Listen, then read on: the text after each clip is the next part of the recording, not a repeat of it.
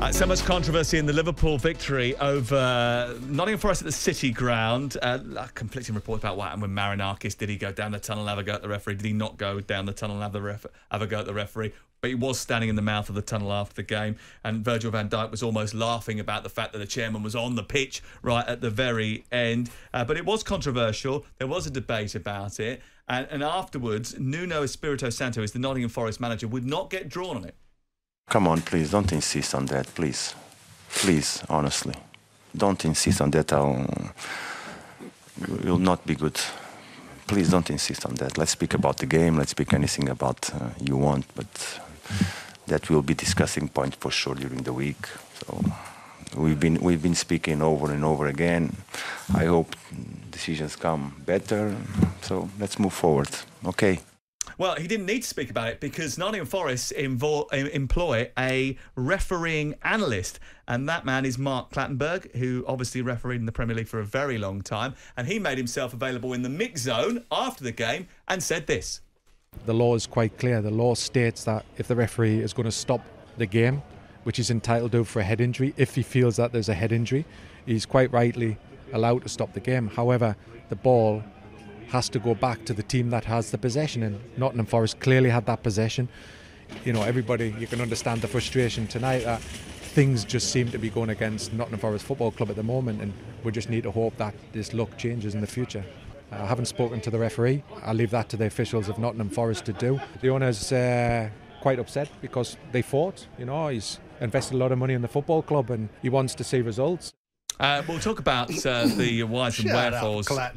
All right. Well, first of all, let me ask you a question. This is, this, isn't this clever from Nottingham Forest? Isn't this clever? They can basically say what they want about referees from a position of strength because they've got an ex-referee in their Yeah, employ who I can stand there as a mouthpiece and say it, and no one can get in trouble about No, it. we've seen this increase in the usage of intelligence surrounding referees. We've got the accusations made against Barcelona for their payment to certain influential people in the refereeing fraternity advice. for advice, for information, for statistics, you know, statistics around refereeing performances. Then you've seen the situation in Roma, where Jose Mourinho had uh, referee advisors. So it's not a new phenomenon. The fact that Clattenburg is a little lickspittle sycophant going out and saying things that probably he would hate to have heard said about him if he was refereeing a game because a mistake has been made. He was No just doubt- quoting the law, right? well, he's quoting the law. What he said- what was wrong with what he said? Decisions are made and mistakes happen, and we understand. As a former owner, I think it's preposterous to have somebody come out there and, and start talking about the owner's perspective on this situation because the owner hmm. takes the slings and arrows of outrageous fortune. He, he he puts himself in the way of a situation. There's no way an owner should be on the side of a pitch. Whether I agree with the principle or the fact that people should be held accountable for mistakes is a different dynamic. We've seen what happens. We've seen that fellow go on a pitch in Turkey and start kicking a referee. You know, you need to. We need to get the balance right between. That, that, referees that was being held accountable. uh, involving Ankaragücü, I think, and Rizespor earlier in the Yeah. season, where they, he got punched in the face, didn't he, the referee, by the owner Yeah. of the football I'm not club. suggesting Marinakis was anywhere near that territory, but listen, th- that's not his domain, and he shouldn't be anywhere near it, and he doesn't need to be anywhere near it, and he's making it about his frustrations. That goes with the territory. You have to live with it. I had hmm. situations at Palace where goals were scored by my team against Bristol City in a, in a significantly important league game for getting, trying to get promoted to the Premier League. We score a goal. Freddie Sears scores a goal, hits the back of the net, hits the standing behind the goal. We get a goal kick. They get a goal kick. You have to get on with it. Yeah, I was fed up and had a real go at the Bristol City chairman, but that was my place in the boardroom. Did you did you ever confront a referee? Did you ever go down to the pitch No, and, and, no. and get involved No, in I mean, I wrote, I wrote, I was writing a column for the Observer at the time, and I wrote an article about refereeing standards, and, and I, the, the FA intervened and fined me ten thousand quid, um, and, and ended up having a real battle with them. so you sent someone an email. No, no, I didn't send someone an email. I wrote a letter. I wrote an article. I had the pen. I had the pen, and I utilised it. Passive aggressive that Simon. But I, it? I, do, I do think that there's a place and a space, and if you start, you can't. think If you're right. move into that space now, Absolutely you're going right, to open yeah. the door to people like you to turn around and say, mm. "Oh, it's an interfering chairman. It's a chairman that's got too much to say for himself. Next to be in the dressing room. Next to be this. Mm. Next to be that. Next to be the other." I thought the manager handled it well. Mm. I ain't going here. But can he handle it well? Because they've employed a consultant who can come out and say what he wants. Well, that's what he's there for, isn't he? Clattenburg. But listen, Simon's absolutely spot on. The chairman, director of football, whoever it may be, so stays upstairs. I, I, I, as a manager, wouldn't want an owner keep coming downstairs. I wouldn't want to see my owner on the football pitch, you know, Undermines the manager. Uh, undermining the manager. If there's an issue on the football pitch, it's down to the players, the manager to deal with. Okay. Not, not, not Clattenburg, not the owner. That's as far as I'm concerned. Okay, so let's go mm. back and have a look at the incident itself. Yeah. Mm-hmm. Are you of the opinion that actually there is a major miscarriage of justice here? Uh, not particularly. I mean, I was obviously, uh, you know, you're like Stato, so you have this sort of information regularly available to you, and st- spend your time time in your bedroom, with your pants around your ankle, reading rule books, right? So I ask you for the information. Right? I don't think. I think it's. A, I think it's an unfortunate set of circumstances, but there's a lot to have happened between that moment and that individual error. And Nottingham Forest conceding a goal. I think it's a tragedy for them. They deserve to get something out of that game, but they might want to look at some of the defending in terms of the circumstances that involve getting the goal, you know, allowing Mac Allister to put the ball back in the box. I mm. do think it's unfortunate. I do think it's a tiny matter of timing. If the referee had awarded the the, the, the transgression at the mm. time instantaneously, it would have been what it was. Yeah, I mean there, there But was moments two later. opportunities actually. He could have awarded a free kick against Ryan Yates for a high foot, which was a, a possibility. Yeah. He- if he had blown a couple of seconds earlier and the ball was inside the penalty area, mm. then the drop ball for the goalkeeper would have been the right decision. But because the action was happening outside the box and Nottingham Forest were in possession, he should have handed the ball back there. That was an infraction, but it was one minute fifty six between that moment point. and the goal. This is my point. Did it not change the momentum? You can, listen, you can go back in any moment in, in a game and say, "Oh, well, Simon got fouled 15 minutes ago." If we'd have given it, it would have changed momentum of the game. And he would have wrote an article about No, it. but what I'm saying, and this is what I'm saying. So yeah, it, Paul Tierney got it wrong. He got it wrong. But one minute fifty eight seconds, Liverpool go and score. Me as a manager, I'll be totally frustrated. The owner's gone mad. Steven Reid's got sent off. Me looking at that game, I'll be saying to myself, and I'll be saying to my players, when the ball come out of the box, why was Awoniyi and Hudson Odoi trying to dribble out of the box? All right, game management, kick it clear. Then the Mac Allister thing doesn't happen. Then mm. you don't lose the game you pick up a point. That's what I'll be saying as a manager. Yes, there's been a misjustice. I get that. Referees do make mistakes. They keep, they will continue to make mistakes. But talking one minute fifty-eight seconds, feel for the Forest fans. They're in a precarious position at the moment. It's tough down there. Uh, this isn't one incident. John, Nottingham Forest fan, says this, and we've had Adam as well on this subject as well, texting us in 810 89. You can do that. Uh, this isn't one incident. Forest have been on the end of way too many bad calls just in the last seven matches. Forest have been uh, had the following sh- sh- shocking decisions: Bournemouth at home down to 10 men after two scandalous yellows for Boly. We lost 3 2. Newcastle 100% Awoniyi penalty, not given at 1 1. It was a penalty as well. It should have been given in that game. They lost 3 2 in that match. West Ham 100% Williams penalty, not given. We won uh, 2 0. Brentford away. Tony cheats moving the free kick two yards. We lost 3 2. That did happen, Hang but on, you'd so, still so question the it goalkeeper. two yards and they lost three two. Yeah, that's, I there that's there, been a there's bit more pedantic questions to there, be but fair. it is. It is, it is something that's going on and on and on and on. No, and no, Clattenburg did, I- did say it. I he said know, it. He but said it I- in that clip. I don't These buy things are going that. Against don't- Forest. He's just mentioned two or three things. One, someone got sent off and they still won the Seven game. things he's mentioned. Well, but two of them that he's mentioned. One, they got they, a man got sent off and they won 2 0.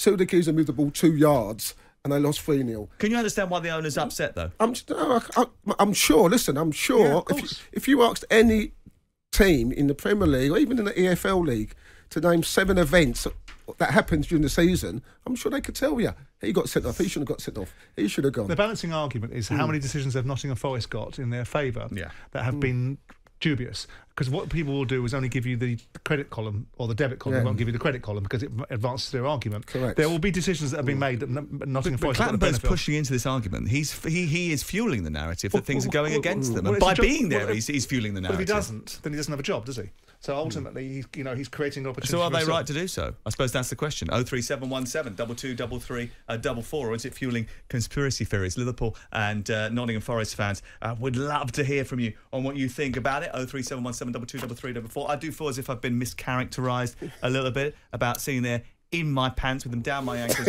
reading the rule book when we all know for sure that in football the book is the laws of the game. John is a Nottingham Forest fan. Matthew is too. Gentlemen, uh, welcome to the programme. John, we'll start with you. What do you want to say? Hi, hey Sam. Hi guys. Thanks for having me on. By the way, appreciate you reading out the list I put on the text. By the way, Sam. It's um, I, th- I think the thing is, it, it seems to be a culmination of, of, of bad decisions in the last sort of few months, especially. I mean, just to answer Simon's point about you know you get some for you, some don't. I'll give him one. Burnley should never had a goal disallowed against us at the start of the season. I'll give him that. But that against seven or eight decisions against us in key moments. I mean, it's not it's not just the odd thing we're talking about game changing moments here. And I know I agree at some point saying, look, you know, you've got to defend better. But here's an example. If the referee has got the laws of the game wrong, not, not a subjective decision, this is law. Next game, let the same team kick off both halves. Doesn't matter then, does it? Two kickoffs. Let them kick. kick off how, you, how are you going to police that? Hmm. Because Nottingham Forest might not be in the, No, no, the, no, league no, next year against Sam, the Liverpool, so they can't is- do that. But if you do it No, against another is- team, then another team gets penalised. No, Sam, my point is it's ludicrous. What I'm saying is if that was given, if, if somebody accidentally gave the kick off to the, s- to the same team and they went down and scored, you can't then blame the defenders for not defending. so, so tell me what you're You shouldn't saying, John. had the ball in the Tell me, place. tell me what you're saying. Are you, are you suggesting that there's some sort of weird agenda against Nottingham No, Forest? not at that- all. Or, or, No, or, not- or- no, or the no. referees just aren't good enough? Which, which one? Which No. one is it? Right, not at all. I, I can't quote Darren Fletcher, but Darren Fletcher made a really good point at a podcast earlier this week. He said it's not about consistency, it's competency. And I think he nailed it. I think we're talking about a lack of competency in a lot of referees. It's not a not a not a scandal. It's not a some kind of conspiracy. We've just got individuals who are simply not good enough at their job and don't even know the laws they're trying to um, adhere on the pitch. But the fact is, these things are going to possibly, putting aside the points possible deductions, we could get relegated because of these decisions. Then there's millions of pounds, there's people losing their jobs. It, it, uh, it's, it's scandalous that a referee doesn't know the laws of the game, that he's on the pitch. Well, that, to- to John. John, that's not true, is it? He does know the laws of the game. He just applied them wrong. He made a mistake, and that is going to happen. A bit like, you know, Callum Hudson-Odoi made a mistake when he decided to dribble out the box. I mean, people do No, no, make no. mistakes over He the course of doesn't- he- games. obviously, do- he obviously doesn't know the laws of the game, otherwise he wouldn't have given that decision. Do what, what do you think the answer hmm. is here? Do you because uh, because John's sort of painting a picture of a, a terrible scenario where referees are given so many decisions against Nottingham Forest, it's actually going to cost them in the league. You've been a manager, you know what hmm. it's like to be in that situation where you feel like the world is against you mm-hmm. and that decisions are going against you. Where do you lay the blame? Do you do you lash out? Do you think it's referees? Do you think that there's a big problem with referees? Because for for time immemorial, we've been moaning about them. Mm, listen, I, I listen. I, I, I, I, I hear his frustration. You know, I, I do. I also believe that if you look at every team in the, in the in the Premier League, even in the Championship, when I was at Reading, the amount of mistakes that referee get get, get they get wrong. But that is going to be part and parcel of the game. Everyone But, but you made mistakes, didn't you? Oh, of course, I made loads of mistakes. I saw someone made loads of mistakes. Okay, but I think because of the timing of the situation, the ten games left, I said they're, they're, worried about the, the deduction of points. It's the, it's the timing. As I said, every team can go through. Well, we should have had this. We should have had that. The referee got that wrong. You know, was it subjective? Was it objective? All these things that people are found about. Now's the business part of the season, and this is where the Forest fans are now feel that they're aggrieved. All I will say to you, and, and, I, and listen, I'm on the Forest side, but there was one minute fifty eight seconds after before Liverpool scored the goal. Mm. That's and they should have dealt with it better. That's They what should have dealt with it better. Uh, you can understand why Nottingham Forest fans are frustrated much so. because they, they had a brilliant record against Liverpool. They hadn't lost at home at the City Ground against them since 1984. It seemed to be a place that Liverpool struggled to go to uh, prior to the weekend. They got a goal right at the very end with the last touch of the game. Matthew's a Nottingham Forest fan. He's upset about it as well. And uh, what do you want to say to Simon Jordan and to Paul Ince this morning? Yeah, first off, first off, a great show, lads. Absolutely love the show. Simon, great book. I read it last year in Morocco. Absolutely loved it. Best football book I've ever read. Oh, very kind, And, mate. Thank um, you. Must have been Uh, a long yeah, no, to start, to start with, I want to I want to start with the VAR, but I'm just going back to the one minute fifty eight seconds thing. But if we'd have got the ball back in that corner like we should have, we might have got a free kick, we might have got a corner, a throw in, ball gets cleared up, up the park, game's over, we draw the game nil nil. That that was. That's the, it's just the time of the timing of it. I think um, is, is a big thing really. A minute a minute or so later, could have stayed down in that end. Ball gets cleared. That's it, finished. Um, But there were other VAR. mistakes too, weren't there? There were, it wasn't just that one. There was a mistake, and there's, no one is denying the fact that Paul Tierney has made a mistake. Hands up, Yeah. everyone's seen it. We all know the laws of the game, and, and that was a mistake by him. Yeah, but there were brilliant. other issues after that, weren't there? You know, you, you can say issues that it wouldn't have gone up the other end, but, down it might not have gone down that end. but it might have They done. shouldn't have had the corner. Yeah. They shouldn't have had the corner. A minute later, they might not have got a corner. But like I say, back to the VAR decisions. Okay, Paul Tierney's got that wrong. He puts his hand up for it. A few years ago, we'd be talking now on a Monday about that one referee making the wrong decision. We're now talking about five referees getting decisions wrong in the VAR room every week. It's like it's not just the guy on the pitch anymore. It's the five referees or however many there is in the VAR room. One of them says, "Paul got that wrong, mate." We go. They're not to allowed to do that, though. I mean, that might But be a problem with the IFAB protocol. We might all be annoyed Yeah. about the fact that he can't Well, do it, that- but he's not allowed a- to. But that's back to like. But, but again, I think with VAR, it's there for um, decisions that the, the referees got wrong. If he's if they've seen that in that in that room, and and we we come back to offsides, we come back to fouls a bit later on in the game in the build up. I know they're to goals, but it wouldn't have been a problem to come back 30 seconds and say that should have been a Forest ball. Same with the Willy Boly one. I know we don't go on to second yellow cards, but it was that wrong.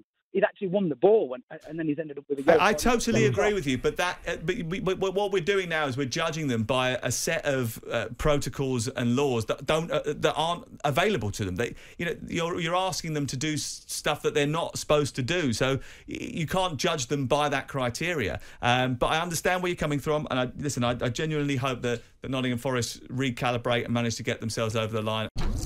Jim White and Simon Jordan. Monday to Friday mornings from 10 on AM, on DAB, via the Talksport app, and on your smart speaker. Talksport.